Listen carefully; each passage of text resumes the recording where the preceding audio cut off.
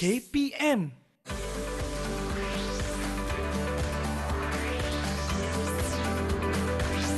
Didik TV KPM.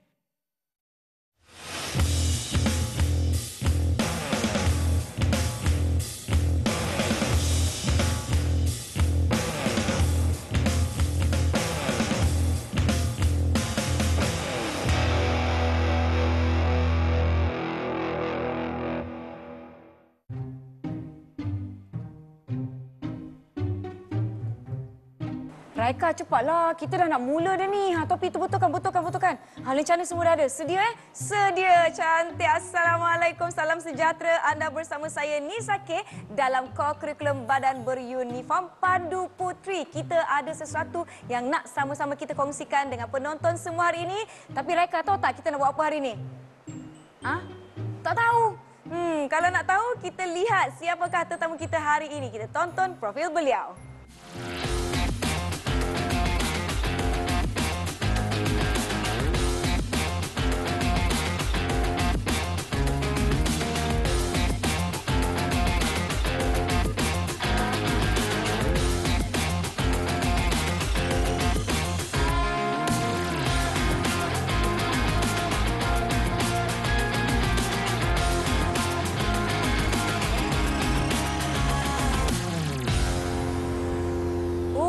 gerun rasanya kerana bersama-sama dengan Nisa bukanlah calang-calang orang. Tetamu kita hari ini merupakan Ketua Pesuruhjaya Persatuan Pandu Putri Malaysia yang berbahagia Datuk Jaya Dewi Subramanian. Selamat datang Datuk. Terima kasih. Terima kasih kerana bersama-sama dengan kami di Didik TV KPM. Baiklah Datuk, saya pun tak nak buang masa. Saya pasti penonton-penonton semua semua nak tahu berkaitan dengan penubuhan Persatuan Pandu Putri Malaysia. Silakan Datuk. Terima kasih. Uh, Persatuan Pandu Putri Malaysia telah ditubuhkan pada tahun 1916 Hmm. dan didaftarkan pada tahun 1917 di Calcutta, India. Baik. Dan pada tahun ini kita berusia 107 tahun Wow. wujudnya Pandu Putri di Malaysia. Dan uh, dalam masa 107 tahun ini banyak uh, peristiwa-peristiwa Ya. yang manis dan pahit uh, telah dialami tetapi kebanyakannya adalah untuk uh, gadis dan wanita. Dan Pandu Putri merupakan satu-satunya organisasi bagi wanita sahaja. Ya, jadi memang betul lah apa uh, Pandu Putri Malaysia ni khusus untuk wanita sahaja atau ada peringkat-peringkatnya?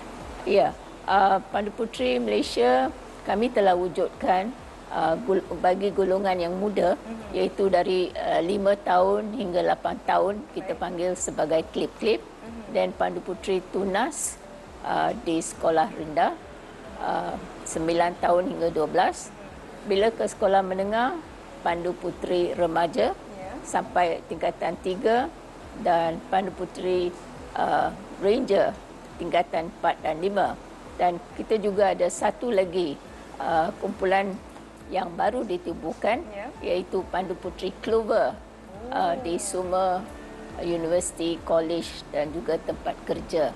Yang ini adalah untuk uh, wanita muda Mhm. bawah 30 tahun. Wah, saya masih lagi lah bawah 30 tahun. Boleh Datuk Boleh, ya? boleh, boleh. Walaupun Nanti saya bagi, saya bagi uh, borang. Orang ya kita boleh daftar bersama-sama sampai ini. Saya nak tahu Datuk, seluruh Malaysia ni sebenarnya ada berapa cawangan uh, Persatuan Pandu Putri Malaysia? Ya. Uh, di untuk Pandu Putri Malaysia, Mhm. uh, kami ada 18 cawangan.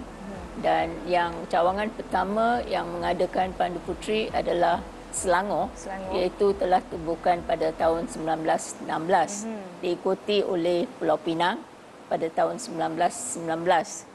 Dan uh, Perak 21 Mhm. dan baru baru-baru lagi telah menyambut 101 tahun Wow. uh, Pandu Putri di Perak. Baik. Kemudian Negeri Sembilan pada tahun uh, 24, Mhm. 1924.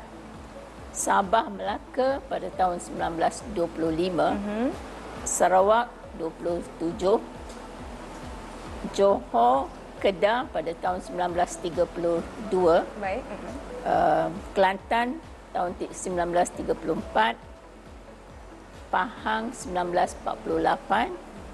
Terengganu 1950, Terenggan uh, Perlis 1957, Kuala Lumpur uh, dia jadi wilayah persekutuan pada tahun 1972.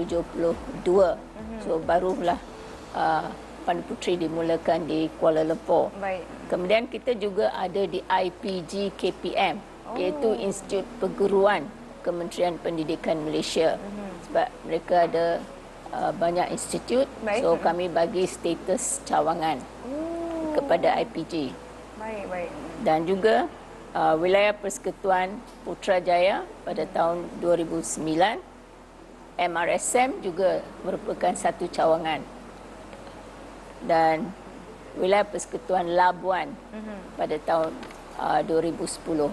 So Baiklah. kita ada 18 cawangan. Wah, maknanya banyak cawangan uh, PPPM, ah Persatuan Pandu Puteri Jenis. Malaysia di uh, Malaysia ini. Jadi apa fungsi-fungsi cawangan ini Datuk? Mungkin jadi pusat aktiviti, pusat berkumpul untuk ahli-ahli Pandu Puteri ini Datuk. Ya, terima kasih. Uh, cawangan-cawangan ni uh, mereka bukan saja akan jadi tuan rumah untuk acara-acara kebangsaan hmm. dan juga antarabangsa. Uh, mereka juga menjalankan aktiviti program bagi ahli-ahli dari akar umbi lagi. Baik. Uh, dari lima tahun sehinggalah mereka uh, mampu menjadi ahli. Mm-hmm. Uh, bukan saja di sekolah tapi komuniti juga. Baik. Dan uh, segala program yang kami adakan. Di peringkat sekolah maupun uh, di cawangan semuanya kami dapat kelulusan daripada KPM mm-hmm. dan juga daripada Jabatan Pendidikan uh, negeri masing-masing.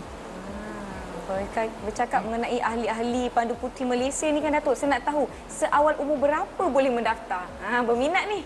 Ya, uh, Pandu Puteri Malaysia boleh daftar dari umur 5 tahun. Lima tahun. 5 tahun dan kami ada pendaftaran online. Mm-hmm. Online registration dan kami juga dapat data daripada KPM Baik. uh, untuk sekolah-sekolah. Ah. So selalunya kami banding mm-hmm. kan penyertaan ahli-ahli kita uh, yang didaftarkan melalui KPM mm-hmm. dan juga uh, online sistem Pandu Baik. Malaysia. Baiklah, bagaimana dengan keaktifan uh, program ataupun acara-acara yang melibatkan Persatuan Pandu Puteri Malaysia ni Datuk? Okey, uh, Pandu Puteri Malaysia baru-baru ini telah uh, mengubah program Pandu Puteri mengikut uh, minat uh, kehendak ahli-ahli kita. Baik. Kami dah buat survey dan kami telah mengubah uh, program kami. Jadi sekarang kita menawarkan lebih banyak lencana. Kita nak mengetahui dengan lebih lanjut tetapi sebelum itu kita rehat seketika jangan ke mana-mana kembali selepas ini di Didik TV KPM.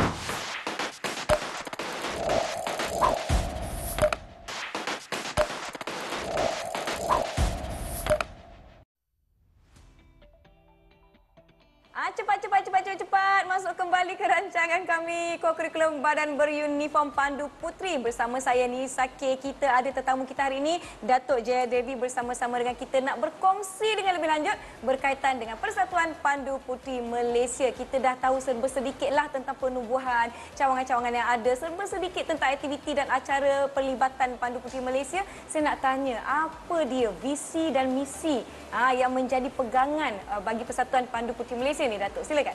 Ya. Uh, visi Pandu Puteri Malaysia adalah merajui mm-hmm. perkembangan potensi gadis dan wanita dalam membawa perubahan. Kita juga ada kempen-kempen advocacy mm-hmm. yang kami jalankan iaitu Free Being Me.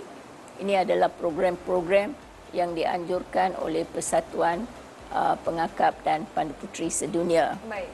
dan juga ABC Action on Body Confidence memberi keyakinan diri untuk uh, bercakap tak segan Ya. dan sebagainya dan ni. dan juga Surf Smart Surf Smart ini ialah uh, tentang cyber security Ya. dan juga stop the violence satu lagi ialah uh, cyber crime Ya. uh, satu lagi area yang kami uh, mengambil berat tentang uh, crime cyber ni Ya, betul. Maklumlah dalam zaman-zaman sosial media ni kan, Datuk kan? Ha. dan juga uh, cyber security dan uh, untuk cyber security kami uh, Pandu Puteri Malaysia melalui ASEAN Foundation uh, yang berpusat di Thailand uh, kami telah mendapat satu grant uh, untuk menjalankan uh, aktiviti cyber security ini keselamatan cyber dan juga satu lagi aspek yang paling penting ialah kesedaran mental dan dari segi misi kita Ya. uh, Pandu Puteri Malaysia mempunyai komitmen melahirkan golongan wanita remaja dewasa yang berkaliber melalui penerapan ilmu, kemahiran dan nilai. Jadi kalau kita lihat ilmu, kami memberi uh, banyak pendidikan secara tidak formal Ya. dan uh, berpandukan kepada lima elemen. Kalau kita lihat Ya. rencana-rencana tu, Ha, ha. rencana-rencana tu ada lima elemen. Baik. Satu ialah budaya dan kreativiti, Budaya, mm, cabaran dan kecergasan, cabaran, baik. sains dan teknologi, Mhm.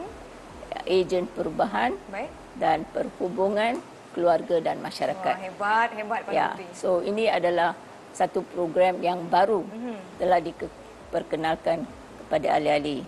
Dan kalau dari segi kemahiran, kami memberi uh, pendedahan daripada ciri-ciri kepimpinan, Ya. mm, berkomunikasi, penyelesaian masalah, uh, pemikiran yang kreatif, uh, perhubungan interpersonal. Baik. Maknanya ber, boleh berkomunikasi dengan orang lain dengan sopan, menghormati satu sama lain dan kerja berpasukan.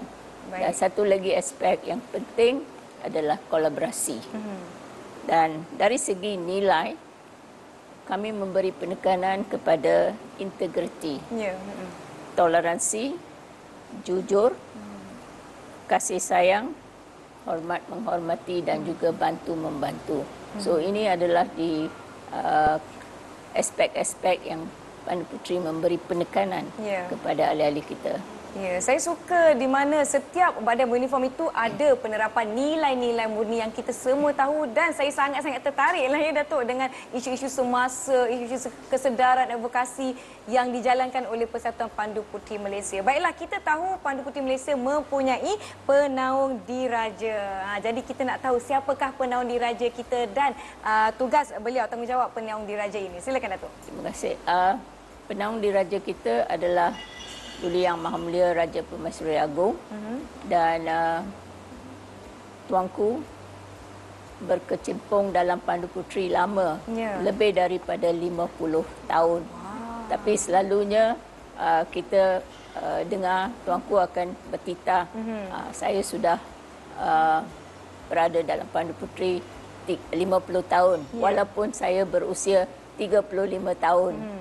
You know, dia ini ada antara uh, perkara-perkara yang selalu uh, tuanku akan maklumkan dalam acara yang besar-besar, majlis Baik. yang besar-besar. Dan tuanku sendiri juga adalah penaung uh, bagi uh, sahabat uh, Pandu Puteri Asia Pasifik, Wah. penaung diraja.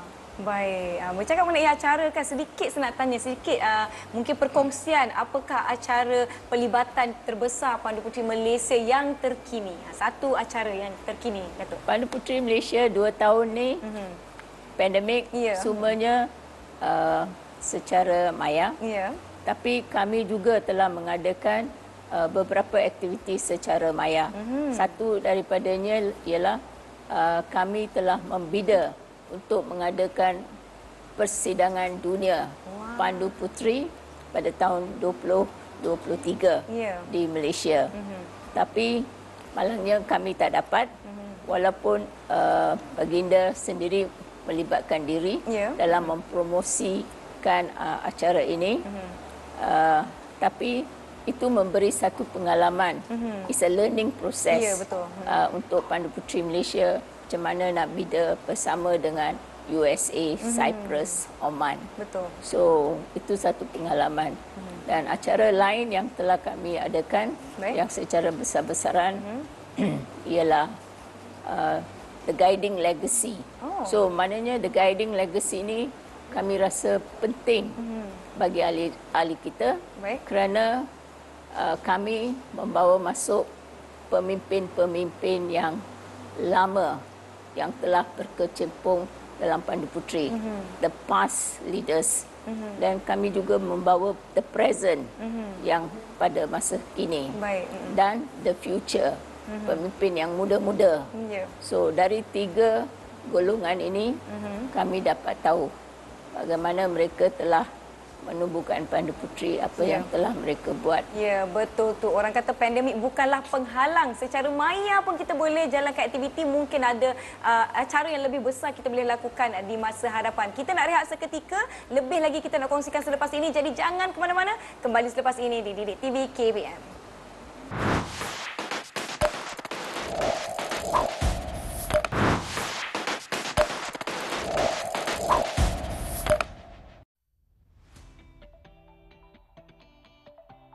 Kembali menonton Badan Beruniform Pandu Puteri Malaysia di Didik TV KPM. Datuk, untuk segmen kali ini ya, kita ada video istimewa yang kita nak kongsikan dengan penonton-penonton di mana kita ada perkongsian dari timbalan yang di-Pertua Persatuan Pandu Puteri Malaysia Duli Amat Mulia Raja Puan Muda Perak Tunku Suraya Sultan Abdul Halim Muazzam Shah yang akan berkongsi dengan kita secara ringkasnya objektif Persatuan Pandu Puteri Malaysia, keahlian serta manfaat Pandu Puteri Malaysia. Jadi jom Datuk kita sama-sama saksikan.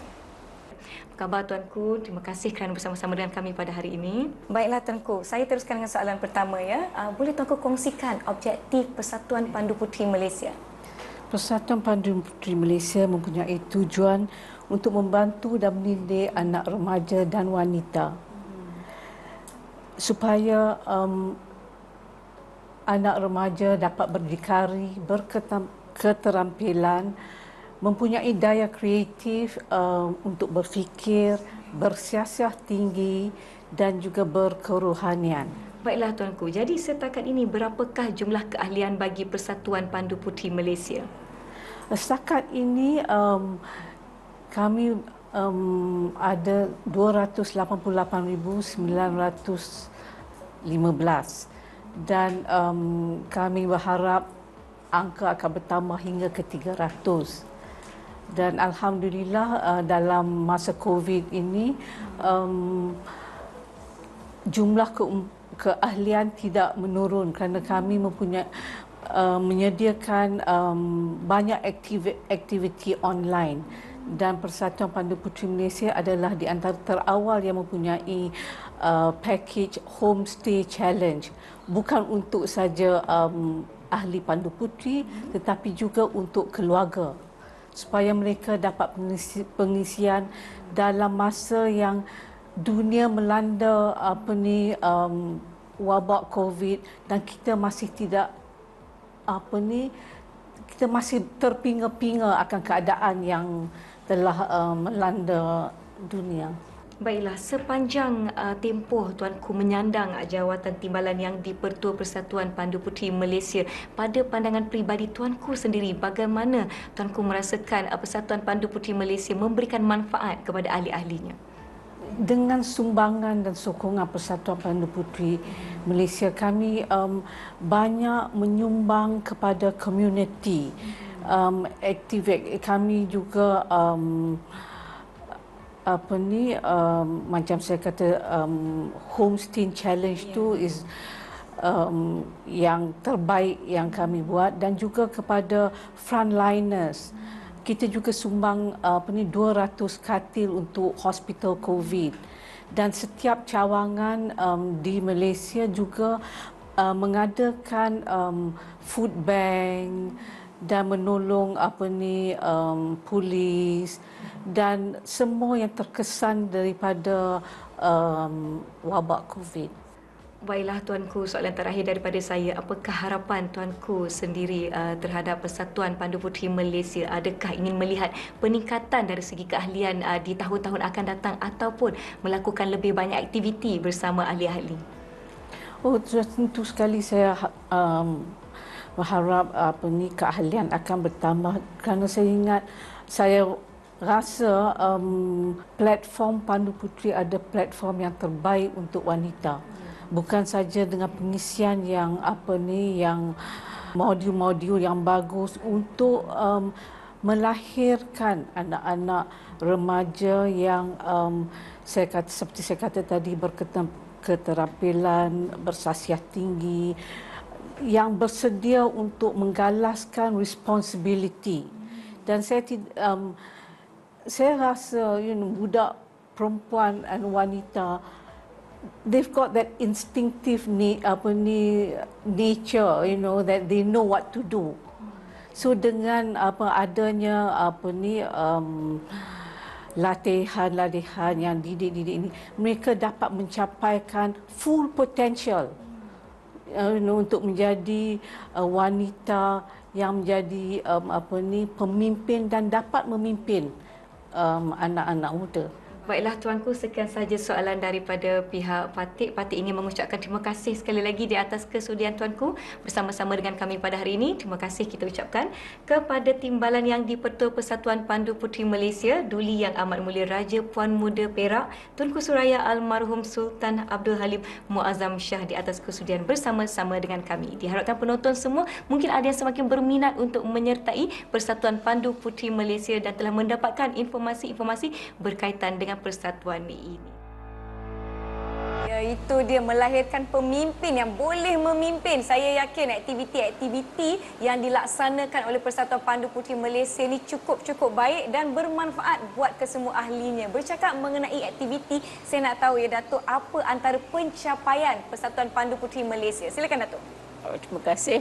Uh, Pandu Puteri Malaysia setiap tahun hmm. melahirkan uh, Pandu Puteri Raja. Ya. So golongan Pandu Puteri Raja adalah uh, yang ter uh, unggul mm-hmm. bagi ahli-ahli seorang ahli Pandu Puteri uh, di Malaysia.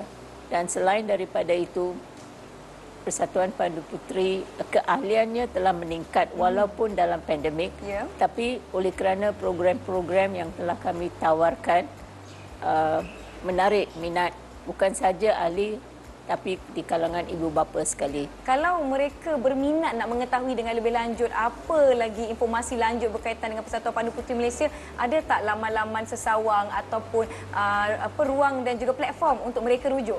Ya. Uh, kami ada website Pandu mm-hmm. Puteri Malaysia. Baik.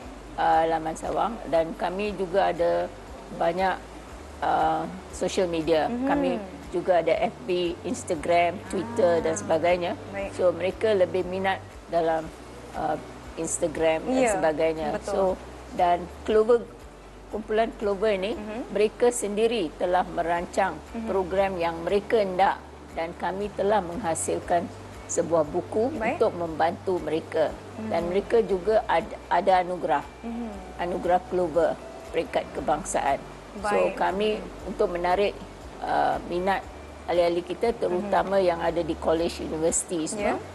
Kami menawarkan Ya, boleh mengetahui informasi lanjut menerusi laman-laman media sosial Persatuan Pandu Puteri Malaysia. Maklumlah orang muda macam saya umur 18 Datuk. Ha, sukalah nak tengok menggunakan uh, peranti-peranti lebih mudah dan cepat. Begitu juga dengan penonton sekalian, sekiranya anda berminat untuk menjadi ahli, boleh mendaftar di laman sesawang yang telah disebutkan oleh Datuk. Baiklah Datuk, sebenarnya kita sudah pun tiba di penghujung rancangan.